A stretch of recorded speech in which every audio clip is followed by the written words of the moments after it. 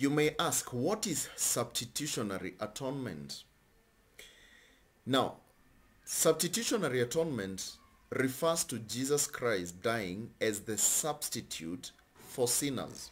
He replaced you. The scriptures teach that all men are sinners. Everyone is a sinner.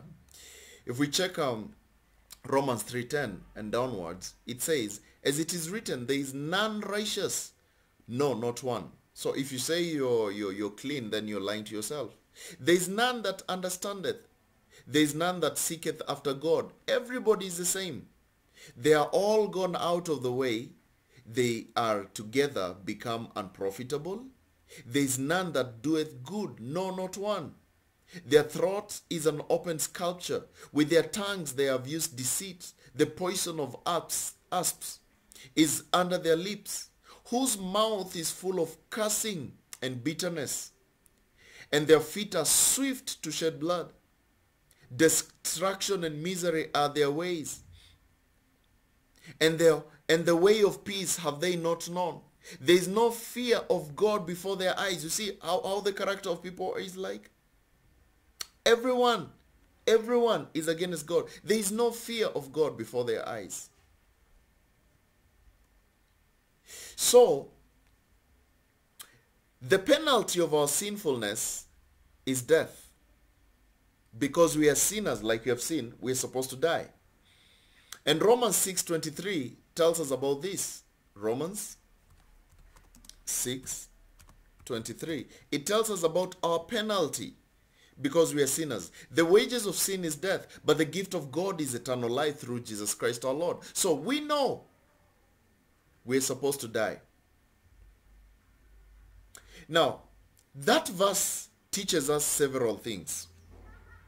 Without Christ, we are going to die and spend an eternity in hell as payment for our sins. Death is uh, in the scriptures refers to separation. Separation. Everyone will die, but uh, some will live in heaven with the Lord for eternity, while others will live in hell for eternity. The death spoken of here refers to the life in hell. However, the second thing this verse teaches us is that eternal life is available through Jesus Christ. This is what we call his substitutionary, uh, substitutionary atonement. Okay? He plans to give us eternal life. We have been separated from God. But now, his substitutionary atonement is him giving us that eternal life. Now, Jesus Christ died in our place. Okay? Jesus died in our place. When he was crucified on the cross, we deserve to be the ones placed on that cross to die because we were the ones who lived sinful lives. But Christ took the punishment on himself in our place. He substituted himself for us and took what we rightly deserved. What we rightly deserved. See what the Bible says in 2 Corinthians 5.21. 2 Corinthians 5.21. See what the Bible says. For he has made him to be sin for us who knew no sin, that we might be made the righteousness of God in him. So this person who knew no sin, he was made sin so that you can have eternal life, can have his righteousness. Okay? So he himself bore our sins in his body on this tree so that we may die to sins and live for righteousness. By his wounds, by his wounds, we have been healed. Now, here again, we see that Christ took the sins that we committed onto himself to pay the price for us. And uh, also a few verses later, we read that uh, in First Peter 3.18, 1 Peter 3.18, it tells us something here. For Christ also has once suffered for sins, the just for the unjust, that he might bring us unto God, being put to death in the flesh, but quickened by the Spirit. So Christ not only do these verses teach us about the substitute that Christ was for us, but they also teach us that he was the atonement. He was the atonement. Okay? He was the atonement, meaning he satisfied the payment due for the sinfulness of man. He lived a perfect life. He never sinned even one day. He went at the cross. He took all the sins of every sinner. And he rose. And we, the Bible tells us that we rose with him. So we have fully his righteousness. He became our atonement. He became our atonement. He, he became that sin so that we can be righteous. You see, one more passage that talks about the substitutionary atonement is Isaiah 53 verses 5. Isaiah uh, 53 verse 5. It tells us about this substitutionary atonement.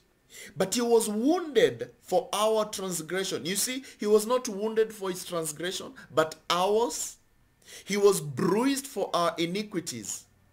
The chastisement of our peace was upon him. And with his stripes, we are healed. By his stripes, we are healed. Now, this verse talks about the coming Christ who was to die on the cross for our sins.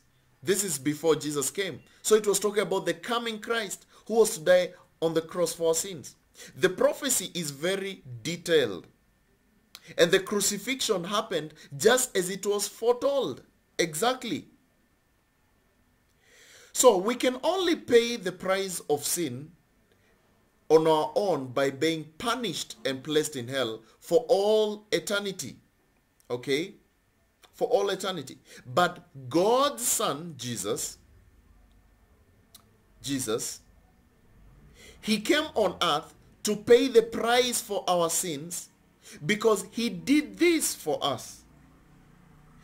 Now we have the opportunity not only to have our sins forgiven, but to spend eternity with him. In order to do this, we must place our faith. You see, we must place our faith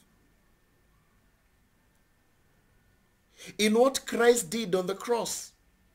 We cannot save ourselves. We need a substitute to take our place. We need that substitute to take our place. The death of Jesus Christ is that substitutionary atonement. We were separated, but through his death at the cross, we were reconciled. And now we can walk boldly towards heaven because of Christ. And that's why Jesus is the only way. And that's why we need the gospel for our salvation. This is the whole gospel. Gospel is basically putting our faith in what Jesus did for us at the cross. The gospel is found in 1 Corinthians 15, 1 through 4. It all speaks about how Christ laid his life for us. He died for us. And that he was buried and rose again the third day according to the scriptures. So if you believe that Jesus, he became the substitutionary atonement for us. He was a propitiation for our sins. Then you are saved. All you need to do is confess to God what you believed. And you tell him, Jesus, I believe that you died for my sins. You were buried and you rose again the third day according to the scriptures. And you did this all for me so that I can be saved. You took my sins away. You took my part. You took what was rightly for me, death, and you made me a new creature. Jesus, I believe in you, and I believe that now you have become, uh, I've become reconciled with you. Thank you for saving me. When you just do that, and you tell him exactly what you believed. You believe and you tell him because you cannot confess what you don't know. then you've been saved. Hope this has been a blessing to you. If you like this video, please give it a thumbs up and also you can share to your friends. Let them get to understand what the Bible says when it says that Jesus became our atonement. Also, you can subscribe and uh, hit the notification bell so that you don't miss a new video because we do new videos every day to edify the body of Christ. God bless you and have a blessed time.